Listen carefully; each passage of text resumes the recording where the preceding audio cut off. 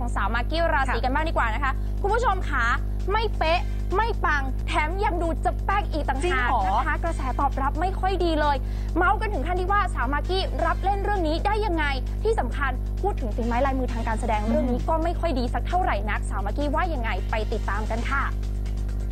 คือประเด็นเนี่ยเขาว่าตัวหนังหรือว่าว่าตัวมากกี้อะสองอย่างเลยคุณ เอาเหรอ อ่า เปิดฉายรอบสื่อมวลชนไปนะคะ จากภาพยนตร์เรื่องมหาลัยเที่ยงคืนที่สาวมาร์กี้ราศีได้โอกาสนำแสดงในจอเงินเป็นครั้งแรก แต่ก็โดนเพจดังวิจารณ์ยับทั้งเรื่องของบท production CG และ costume ไม่เท่านั้นนะเจ้าตัวติดร่างแห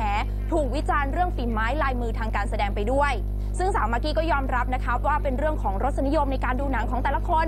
ซึ่งแค่มีคนดูเปิดใจเข้าไปดูหนังที่เธอเล่นก็ดีมากๆแล้ว ด้าน feedback เธอก็ยังไม่ได้เช็คอะไรนะคะ แต่ถ้าสุดท้ายมีคนพูดถึงในทางลบมากกว่า ก็พร้อมที่จะปรับปรุงทุกอย่างให้ดีขึ้นค่ะ ก็มีทั้งคนชอบมีทั้งคนไม่ชอบผสมกันไปเนาะความชอบมันมันไม่สามารถที่จะบังคับกันได้ คืออย่างน้อยเขาได้ให้โอกาสเรา และเข้าไปดูหนังเรา ถึงแม้ว่าเขาจะไม่ชอบเราก็ต้องขอบคุณเขาที่ได้ให้โอกาสไปดูเรา คือตอนนี้หนูยังไม่ได้เช็คอะไรเลย หนูยังเลยแบบไม่รู้ว่าบวกเท่าไหร่ลบเท่าไหร่ แต่ถ้ามีลบเยอะบวกน้อย มันก็ต้องเอาไปปรับปรุง ดูไปวิเคราะห์ดูว่า เอ้ย มันพลาดตรงไหน เราสามารถปรับปรุงได้ไหมแล้วเราจะทำให้มันดีขึ้นได้ไหมแล้วก็อยู่ที่ว่าเราจะได้โอกาสทำอีกหรือเปล่า